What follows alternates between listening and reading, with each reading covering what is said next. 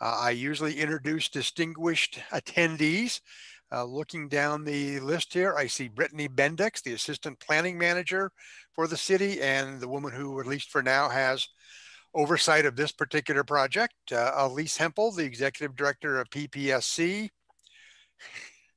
Uh, Chris Rebelo, the uh, Senior Advisory Committee Chair. Who else are they going to mention here? Some, oh, Ned Orrit from the Climate Action Commission. So it's a good group here this evening.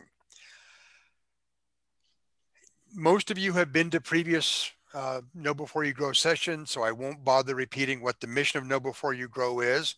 I will just deal with a couple of logistical issues. Uh, if you hover, hover your cursor toward the bottom of the screen, you'll see a chat option.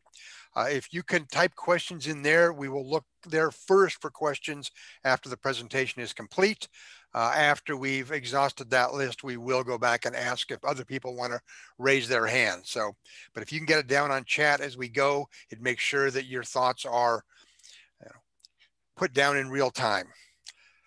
The two speakers this evening are Scott Hunter and Geoff McComic, both of Vesta Pacific Development. Both live in Napa, where they're currently finishing up a Register Square project not far from downtown Napa. And now they're looking to branch out into Petaluma. Although Geoff shared with me as we during the warm up here that he's been coming to Petaluma regularly to meet with friends and enjoys the town. So is presumably looking forward to doing a project here also with that, I will turn it over to the two of them. Uh, they will speak for maybe half an hour, and then we'll do the uh, the questions. Gentlemen, show's yours. Great. Thank you, Dave. Um, I will uh, start things off. One thing, I am a Sonomian. Um, uh, I live in the, in the city of Sonoma. Geoff's over in Napa, so so I am a, almost a local.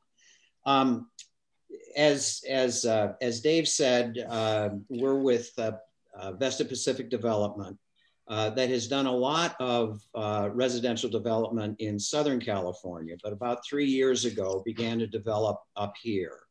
And our first project is Register Square, which is on 2nd and 3rd Street over in Napa. Uh, 51 residential units and, and two uh, uh, retail um, offerings there. And then uh, Landing, which is what we're calling our, our Petaluma project, uh, will be our, our second Northern California uh, development. And basically, Geoff and I handle the, uh, the entitlement and the, the whole uh, approval process. Uh, Geoff's most involved with city staff, and uh, I'm pretty much the point person on community outreach. we have been working with staff for pretty close to a year. And we have actually had one one entire uh, concept that we uh, after vetting it a bit with staff we decided to to start all over again. Um, and when what you'll see here reflects the fact that that we really want to develop something that meets the needs of the community. And so we've relied heavily on some uh, some of the leading lights in the community, but also very much on, on staff to, to get to the point that we're, we're going to show you tonight. Uh, so you'll know we've made application to the city uh, formally, and we're, we're uh, later this week we'll be receiving our, our 30-day letter, which, which uh, uh, we're looking forward to. So uh, next slide, please as you can see here, uh, our site is outlined in red and uh, the right here from this corner, that's, that's McNear and, and South Petaluma Boulevard. It's 0.8 miles to downtown. It's about 0.3 miles to the nearest market. Uh, so it's easy, certainly easy biking distance and, and not a bad walk at all. Uh, the, yellow, the blue lines that you see running along South Petaluma Boulevard and up McNear represent uh, the, the work that we'll, we will be doing offsite.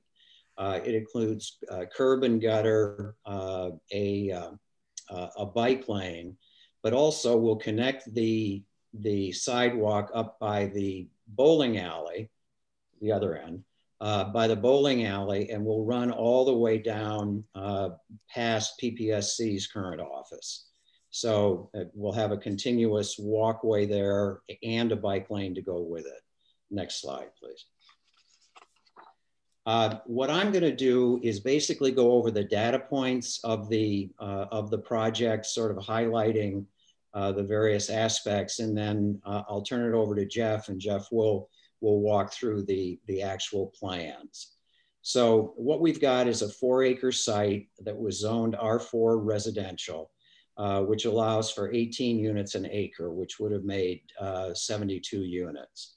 Uh, we are making use of a density bonus, and so we were able to increase the number of units up to 79. Um, and then those 79 units are in a variety of configurations. We've got 38, st 38 stack flats, 25 townhomes, uh, one duplex, one triplex, 11 single family residences, and uh, four ADUs. Next slide, please of the, uh, the 79 units, uh, 26 of them are deed restricted affordable, 13 being uh, deed restricted um, for low income at 80% of AMI, and 13 deed restricted uh, for moderate income at 120% uh, of AMI. And then the, the four ADU units are deed restricted for very low uh, rental at today's, but it, it's, it's really important to point out that even though 26 are deed restricted affordable, um, based on pricing, really 46 are, are, um, uh, are, are in the affordable range or close to, well, 58% of the total units uh, are affordable. And at today's pricing, that 58 would be priced at um, uh, 500,000 or less with, again, at today's pricing with the least expensive coming in in the high 200s. So these are very affordable units. It's also important to point out that the affordable units aren't segmented off on a, in a, in a separate area. They are blended in with, with the stack flats and the, the townhomes in, in everywhere except on this on the uh, single family residences. Um, Petaluma's code calls for three parking spaces uh, per housing unit, and we used our density bonus to reduce that uh, to just over two spaces uh, per unit. And so that means we've got 173 parking spaces, most of them in garages, 134, uh, 39 in garages, and 34 um, uh, for guest parking and that that allows for a lot more open space. In fact the open space that we're providing is more than double what the city requires. Next slide please. Um, we will be the first project um, sometimes it's not fun to go first but um, we'll be the first project to go through the approval process in petaluma uh, under the vehicle miles traveled or, or VMP, VMT uh, statutes. And so it's we're really a, a, a, test case. And to be sure that it, it's that's really an environmental statute. Um, it's designed to to promote walkability uh, increase density uh, and reduce uh, reduce traffic. And um, to be sure that we're, we're doing that right, we have, we have decided from the get-go that we're gonna do a focused EIR so that uh, not only will we have what we present, but we'll have a, an outside uh, consultant who will conduct the EIR. Um, and that will be a part of the package that we uh, present to the Planning Commission and, and City Council. But some of the things that you can do in order to lower your VMT score uh, from our area score is, as I've already mentioned, we've increased the density uh, from 18 up to just over 19 units per acre. Uh, we've increased the, the low income affordable units from six to 13. Uh, we're deed restricting the ADUs for very low um, rental. Uh, we're providing uh, electric vehicle charging in all garages. Uh, we're providing a bike share system. We'll have 20 bikes um, that will be a, uh, owned by the HOA and managed by the HOA, uh, available for residents' use. Uh, and then we'll have the offsite uh, uh, improvements that I mentioned earlier, the bike lane, the curb gutter, and, and sidewalks. And of course, we've reduced, again, reduced the parking from three down to 2.19. And the last thing which uh, got left off this slide is there will be a bus stop um, uh, put at the corner of McNear and South Petaluma Boulevard. And hopefully uh, Petaluma Transit will follow suit and begin to send more, more buses down that way. Uh, next slide, please. Uh, I don't have a, a separate slide for this, but it's, it's very important that we point out that, that one of the, the, the key factors to the way we develop projects is community outreach. And Know Before You Grow is our, is our, our first opportunity to talk to a group. However, we have talked to some of the smaller organizations or the executive director of, of some of the other uh, organizations in town. Um, we hope to be able to come back to know before you grow as we go through this process so that as, as things are, are fine tuned, we'll be able to report back to you um, and, and get your input on, on what we're doing. Uh, we also uh, will continue to try to, to find other stakeholder groups uh, in town that, that we want to be sure are informed about what we're doing.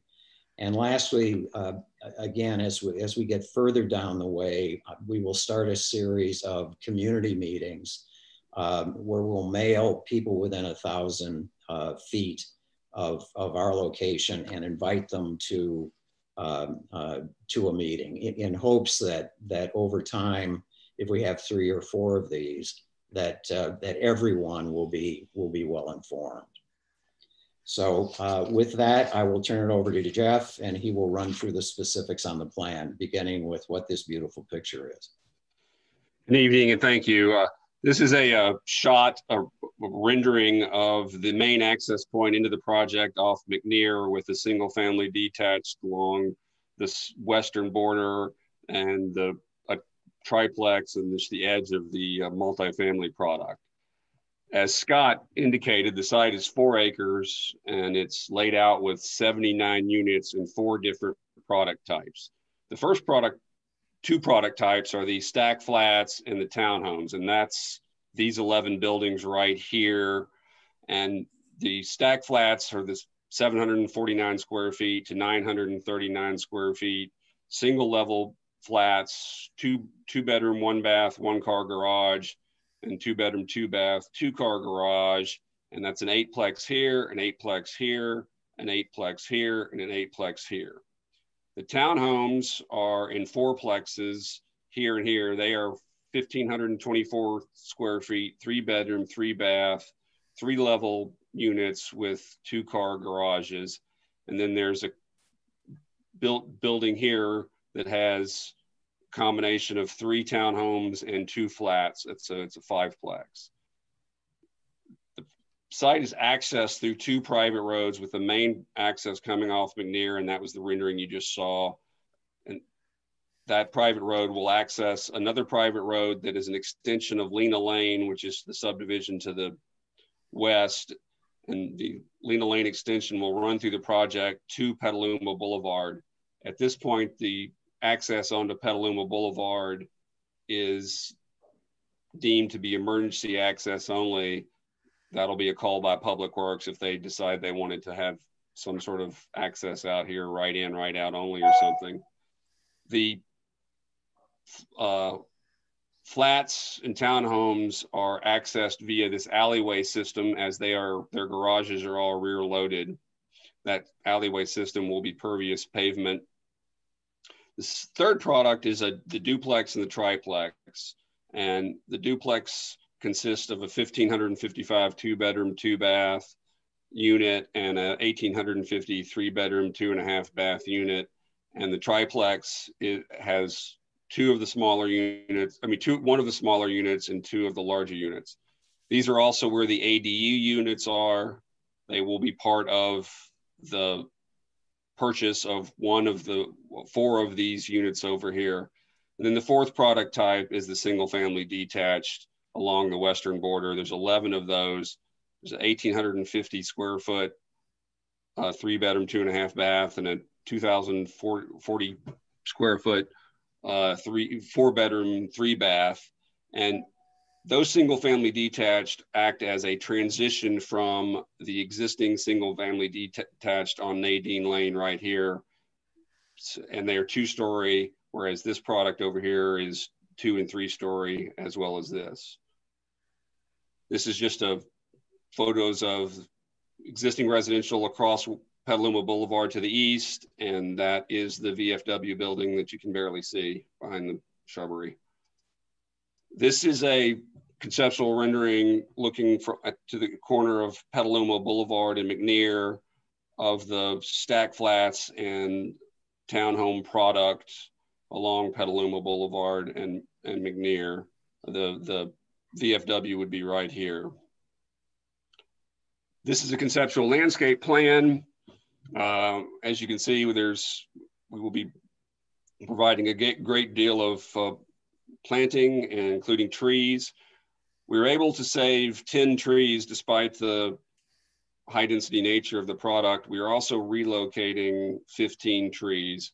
We moved the sidewalk along McNear in order to save some of the trees. That's why the sidewalk dips in and out like this.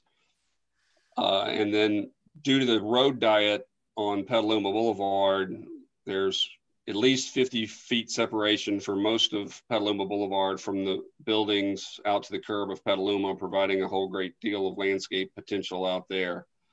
There are two major or, or two significant open space areas, common open space areas in the product. The main one right here is the small park that has two passive spots, a little grove, this is proposed as a gazebo, and this area is proposed as a, a small tot lot park. The second open major open space area is this small park running from Petaluma Boulevard into the project, providing uh, pedestrian and bicycle access into the project, into the middle of the project. This is also where the bike share facility will be, which is right there where the 20 bikes will be. That may or may not be solar powered electric bikes. That's something we've yet to determine. There are four access points along Petaluma Boulevard for pedestrian access and bike access one here, one here, one here, and one here. And then three along McNear, at, providing pedestrian and bicycle access to the public right of ways from multiple points within the project. This is a rendering of the sections along Petaluma Boulevard and McNear, showing the relationship to the existing residential to the south along Petaluma Boulevard and the VFW building uh, to the north on Petaluma Boulevard. And these are the three proposed buildings with the one proposed, one of the proposed buildings along McNear. This is the McNear section with Petaluma Boulevard, the two proposed buildings, the single family detached, and then over here is the existing residence along Lena Lane, uh, Nadine Lane at McNear. This is a blow up of the stacked, two of the three stack flat buildings. This building 300 is the townhome buildings, excuse me, is the uh, stack flat buildings, the eightplex. Uh, each unit has a porch on the front or a deck on the front that faces out to either the street, common common open space area, or uh, the internal private streets. And then building 100 is the fourplex townhome buildings. Building 200 is not shown here. Uh, all of the buildings have porches on the fronts along here, along here, along here that interface with either the walkways along here or the open space along here, or the open space along here, or the pri private street. These are the uh, duplex and triplex units. They are craftsman architecture. They are, as I said, this one, the duplex is 1,500 square feet and 1,850 square feet. They are designed to look as much as possible for duplex and triplex units as one larger single family detached house as opposed to uh, multi, multi units. And then the single family detached is two product types, again, craftsman style, porches along the front uh, in order to interface with a private street. And then and the, the, these units, as well as the duplex and triplex units will also have private rear space backyards. Each unit has private open space, private usable open space in either a patio, a deck, or rear space, and some have mul- some some have multiple spaces. And then of course there's the the larger two larger common space areas, and that's about it.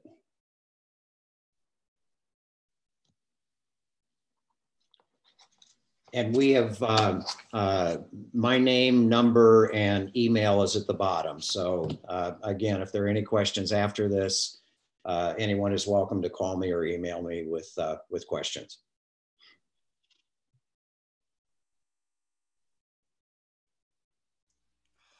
Okay, the floor is now open for questions. I don't see anything in the chat list. So if you want to raise your hand using the reaction buttons at the bottom, excuse me, there are the, if you click on the uh, participants list, you'll see the opportunity to um, raise your hand, hit the, hit the button in the lower right, and I will call on you in the order your hands are raised. And unless somebody raised their hand very quickly, I'm going to start asking questions So- myself. In the uh, in the chat, Marion Weinreb says asks, "What are you defining as low low income? Is it the HUD definition?" And I saw the medium low income, but I didn't see the low low income nu- number as percent of AMI. 60%. Sixty. Okay, so that That's that's the four ADU rent, u- units for, for rent. right. Okay. Yep. So AMI is about eighty k a year, I think. Yeah, the the document that I saw for 2019, I haven't seen 2020, but it wasn't available. It, it basically puts rent around $1,100 for a unit Okay. based on the 60% AMI. Cool. And doesn't AMI vary depending on household size? Yes, it does. It does vary depending on bedroom count and household size, but that's it. Those are the ADUs are one bedroom, so it's a two person household.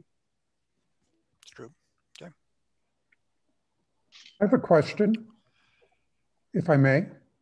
Go ahead, Mr. Ross. Yeah, I'm sorry I was late. I was trying to get this thing to work. Um, I live at, uh, on Nadine Lane, 1225, and back up to this um, development. Um, And I'm curious to know, um, since I got here late, um, what is the, what is the um, easement, if you will, between our houses along Nadine and what appear to be single-family units um, on the south side of the, the lot? Yes, the, well, it's not an easement, but the, the, the, the setback ranges from, I believe, uh, 10 to 15 feet from the PL, back PL. And the, uh, uh, our, our site is anywhere from two to, two to four feet lower uh, than, uh, than grade at, uh, off your street. Right, right. Um, So are those two-story um, units along the south side? Yes. So they'll be able to look right down into my backyard. Great. Um, Not happy about that. Where are the entrances into this complex? And I hope it's not on Lena, because Lena Lane and Nadine are not big enough for this much traffic. The, the, the main entrance points is off, is off McNear, right? McNear. I see. There'll be potentially an access point off Petaluma Boulevard. And is it, is, is, does it dead end at um, where, where Lena Lane currently dead ends? That's, is it going to be, are you doing a through street onto Lena? Is my question. is currently proposed as a through street. That's a bad idea. This is two streets here, a small neighborhood with lots of kids that play outside. Um, the streets just aren't wide enough on Lena and Nadine. It's not like um, Mission Drive. So um, I think that needs to be rethought personally.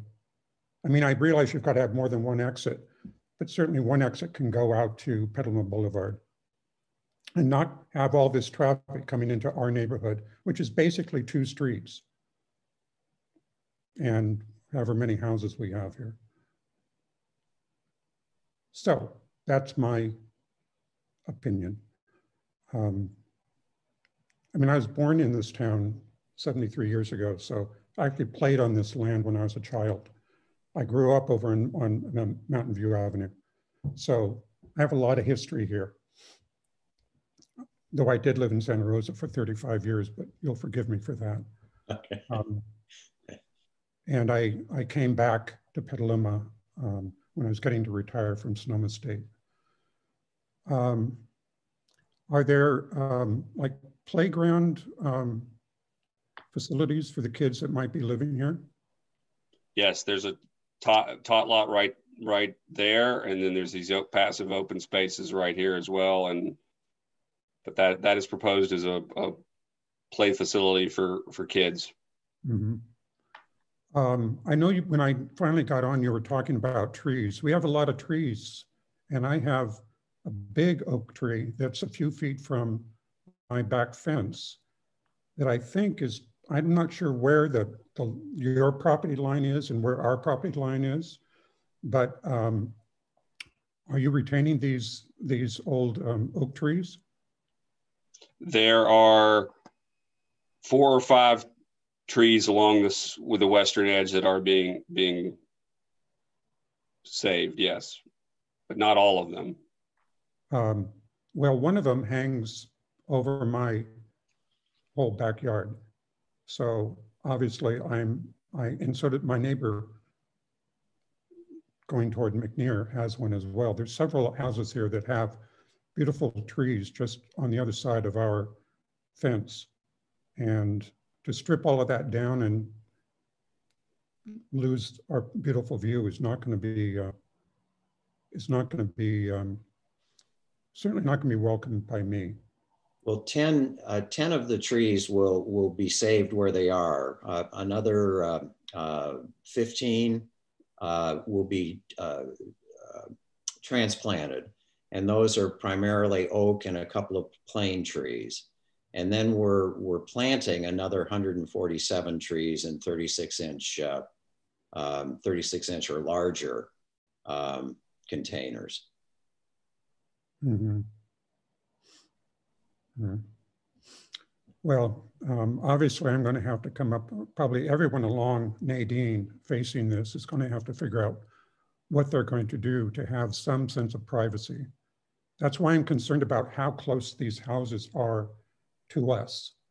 Because they're going to just, I mean, I'm in a two story house too. I don't particularly want to look down into their, into their backyard either.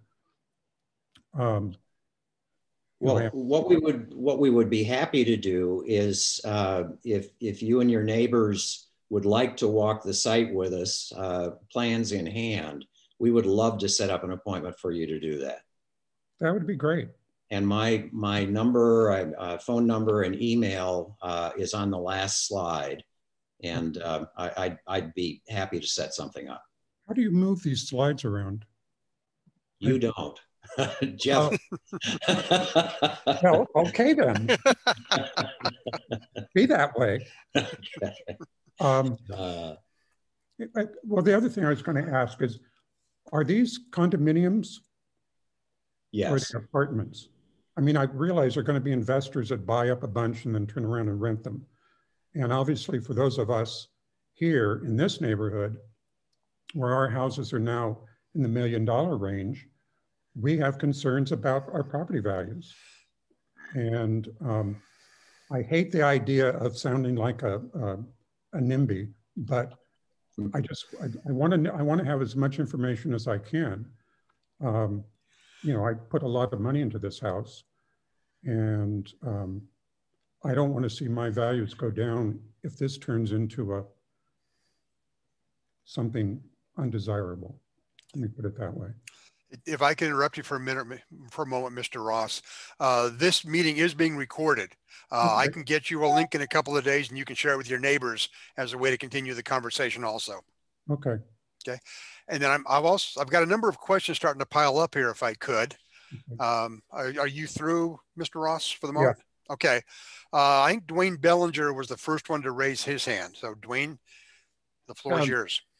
Yeah, thank you. I, I, I rather like the, the looks of what you're doing, but um, I appreciate your uh, paying attention to the neighbors also.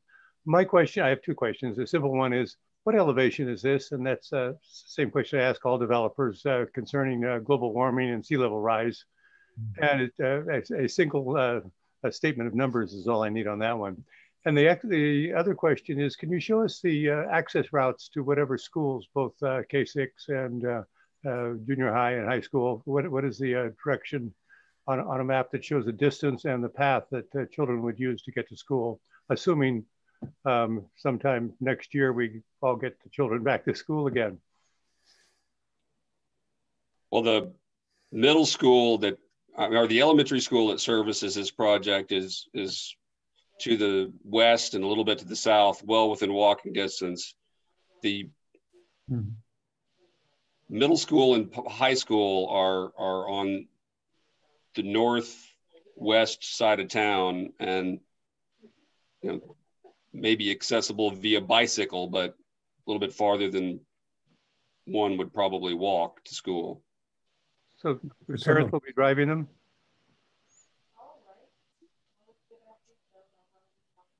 most likely carpooling or driving. I think, I think de- depending on um, number of riders, uh, Petaluma Transit would certainly be eager to look at reinstituting the old uh, Route 5 that connected specifically to the, from this area to the middle school and the high school. And uh, are the parks also, uh, I realize you have uh, inter- interior um, play, play, play areas, but is there, is there any major parks for the kids to go to? Yes, there's a park to the north that is within walking distance. Uh, it's north and west of Petaluma Boulevard. I don't know the name of it off the top of my head. But there is, there is a park. And then, of course, there's the internal areas. Uh, Thank you very much. Okay. Looking at the list of chat questions, uh, Chris Rebelo, will any of the units have zero step entrances? 80 accessible units is, is that? I think that's what she means by that. Yes. Yes, there will be, I, I don't know the exact count, but there will be accessible units uh, provided with accessible, handicap accessible parking within, uh, and with an accessible route to those units. Yeah, but there will be. Uh, Ryan Floyd asks, can you be more specific what trees are being saved? There's a series of trees along this edge. Any any tree that's right up near the PL on the west west side. There's a tree right here where we're mo- moving the uh, sidewalk. A tree right here where the sidewalk comes around, and then there's several trees here that will be saved. And then there's some trees on this edge that will be saved. Okay. And then from Noel McDonald, apologize if I missed it, but what is the proposed timeline? The, um, the EIR will take um, anywhere from uh, 60 to 120 days. Um, and that won't start uh, until uh, until after the the city does an RFP to hire the consultant.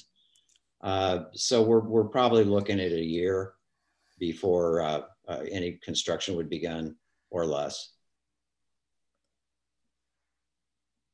Okay. Anyone else want to raise their hand? Then, then I will jump in with a question about the curb uh, gutter sidewalk along Petaluma Boulevard. My understanding is that um, that work was already going to be included in the road diet uh, for which the city has funding.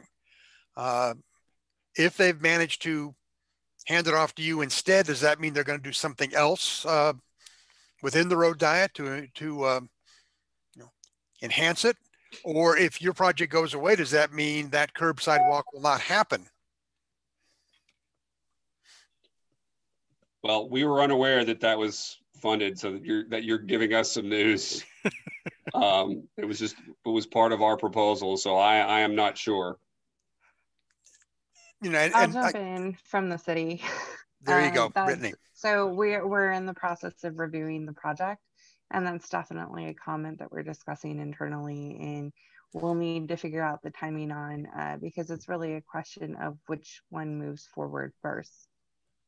So we'll have to look really closely at the details of when things are moving along, but it's, it's not lost on us and it's something that we're, we're talking about. Thank you. Mhm. And then Scott, Vartnaw is an all odd name. You want to tell us how it came to be? Oh, sure. Um, the Vartnaw family has has owned the the prod the the property for many many years, and uh, part of our uh, purchase agreement was that we would call it Vartnaw Landing. And I realize we're not on the river, but uh, there is a nautical theme to the family. Captain Vartnaw, um, who who died uh, several years ago, in well into his 90s, uh, was born in Russia and uh, became a sailor at the age of 16, traveled all over the world, um, and then settled in, in Petaluma and was uh, the skipper of a garbage scow that was about 25, um, 25 miles out of the Golden Gate. Uh, this was in uh, uh, about December 20th of 1941, so it was right after Pearl Harbor and he saw a troop ship um, that was heading out. And just out of the corner of his eye, he saw what he thought was a periscope. And uh, so he, as as the story that that uh, was sent to us from from the newspaper, uh, he made that scow move like it had never moved before, and he rammed the the sub, and um, uh, he felt that he had hit it and sunk it, and, um, and in fact, that was confirmed sometime after when the uh, um, uh, when the wreckage uh, was was found. So, um, so that is that's why we call it Vartnaw Landing, and and uh, sort of in honor of, of the good captain. Thank you. I see that. Dave? Dw- Hey, Can we add a widow's walk? If we're going to call this a landing, we, we need a widow's walk for the, uh, for the captain. One of the buildings.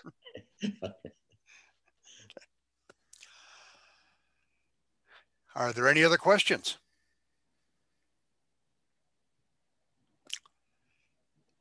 Seeing and hearing none, I apparently our evening is complete. Thank you for joining us. Uh, again, this has been recorded. It will be up online soon. I will get the link out to everyone. Uh, thanks for being here. Our next uh, event will be Wednesday, November 11. I'm talking with a couple of different folks about who will be the presenter that evening. I will advise you of that as soon as possible also. Will the, Thank you. Will, will you be up, um, um, posting these images? Because I missed the, uh, the renderings and all of that. Um, the, uh, the, the video will certainly have the images in them. Oh, okay, you're, you're, you're I- posting the entire video. Got Yeah, it. we've recorded the entire thing. So um, Sure. as soon as every, all of the various cloud services process that, we'll have it available. Great. And and Mr. Ross, please do uh, after you take a look at the at the uh, the video, my number and emails at the end. Uh. Please do give me a call. Yeah, because there's several neighbors here that, um, have been chatting Of when I course. got the, when I got the notice of this meeting so that we can, uh, you know, provide our input as citizens and neighbors. So, Perfect. Okay. We appreciate that. much.